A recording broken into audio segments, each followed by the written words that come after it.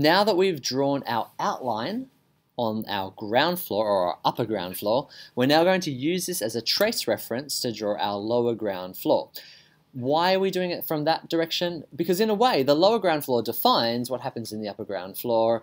Because this is a, a timber framed house, a timber frame floor house with bearers and joists, the subfloor walls define where the upper floor walls and floor sits. So if we go to the lower ground floor, we'll see that there's nothing there. Now we could copy paste that information, but in this case it's not really very useful and I don't want to just keep copying 2D information. Instead, I want to start drawing with 3D information. So we'll right click on our upper ground floor and say show as trace reference.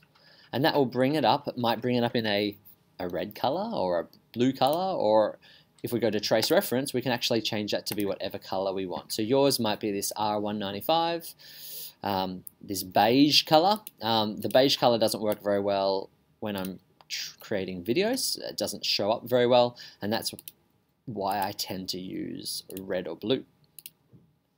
So if you want it to be a bit more vibrant, you can do that. If you want it to be less vibrant, you can go back to trace reference settings and change it. And of course, we also have intensity, so I can make it uh, more ghosted or more pale, paler. I can make it pink. So now we have our trace reference. What do we do? We want to draw with walls. When we go to our wall tool, click on the wall, that brings that up in the info box. Remember, anything we click it takes those settings up to our info box. And again, we can just scroll along. So scroll along and we can access nearly all of our settings via scrolling, or we can go into the info box, into the default settings, and then make changes there. Now I'm going to be, be using the basic setting of wall at the moment. That just means that I can manually define the thickness. Otherwise, we could create composites or complex profiles. That's a little bit too advanced at the moment. So we're going to use the basic profile. And I'm going to get you to use asphalt or something similar because that's probably one that you have. And I like asphalt just because it's black on the screen. It's simple, uh, but we will change that later. Now, how thick is this wall that we want to represent? We're going to start with the wall of the garage area first. And that wall is a concrete block. So that concrete block we can say is 140 millimeters wide. We can get different concrete blocks, but we'll base it on this one, 140. Click. All the rest of the settings will be fine at the moment. So when we draw, what I want you to get into the habit of doing is drawing in a counterclockwise direction.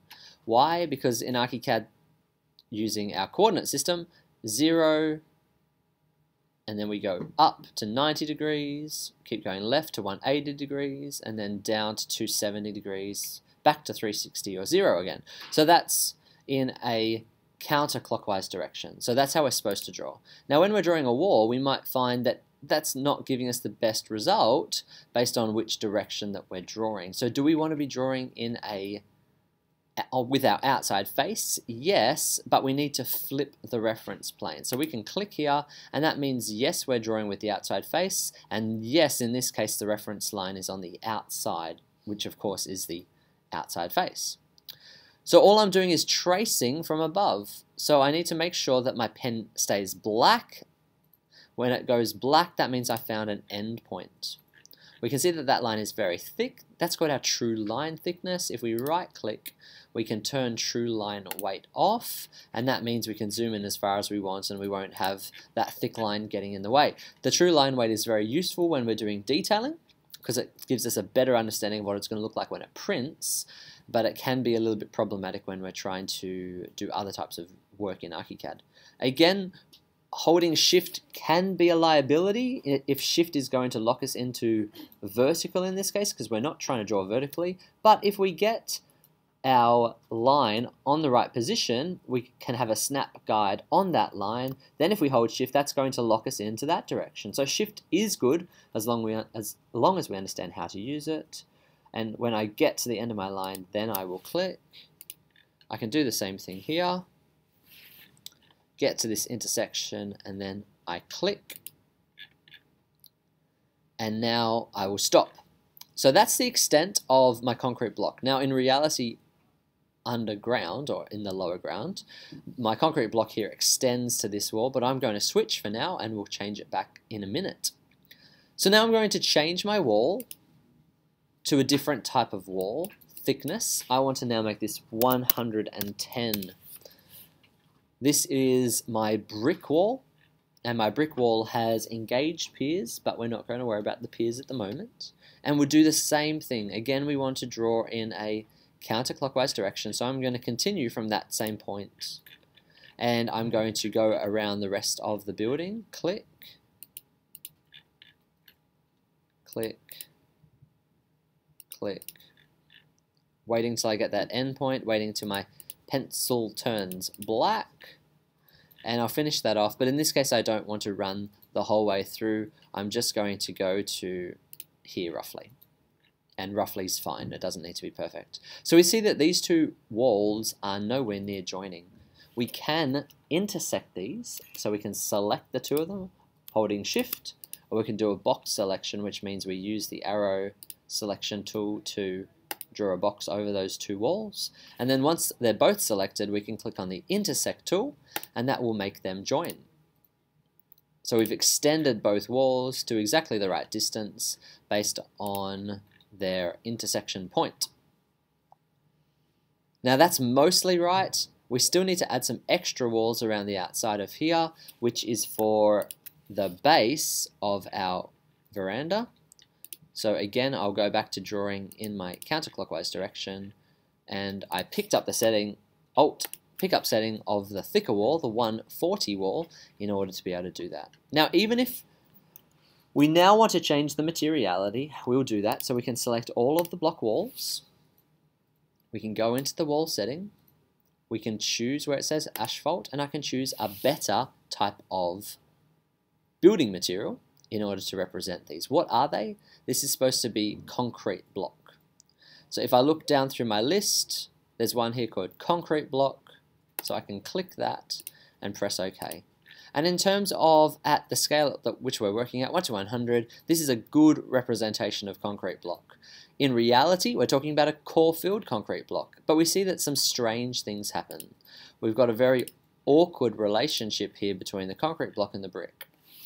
Let's, before we worry about that too much, let's select all the brick. Let's group that together.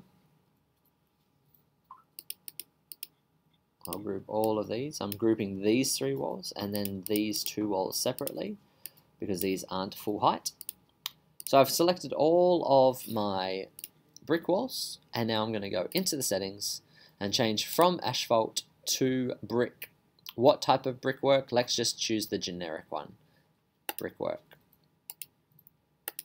And if we zoom in, we still see that that's an awkward relationship. It's not supposed to be relating like that, but it doesn't know what we're trying to do. Now, if we go into the material settings of this, we can have a better understanding of why this is happening. It's really to do with priority and intersection, uh, but it can be a little bit difficult to convince ArchiCAD of what we're trying to do. One way around this because the reality is we'd never have a brick wall and a block wall joining like this anyway. One reality around this is to select our brick wall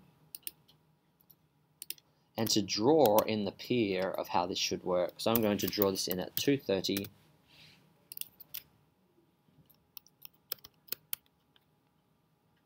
back this way again for 350 and let's go down and finish that off at 230. And let's do the same thing here. Picking up my block. And this time I'll draw this as 390. Alt, Control Alt. So now we see, because it's created better intersections, more realistic intersections, it's now intersecting the way that we want it to. Uh, don't worry about that last part if that was a little bit too complicated. Effectively what we're trying to do is just draw the walls based on trace references from the story above, uh, but we're trying to also represent the true thickness and materiality of what those walls are. Now, the reality is also that these are not new walls, these are existing walls. So while I've chosen a building material to represent their real materiality, in terms of documentation, we would not be representing existing walls with a hatch that shows its materiality. Instead, we'd want to show it as solid black, showing that it's existing and not changing.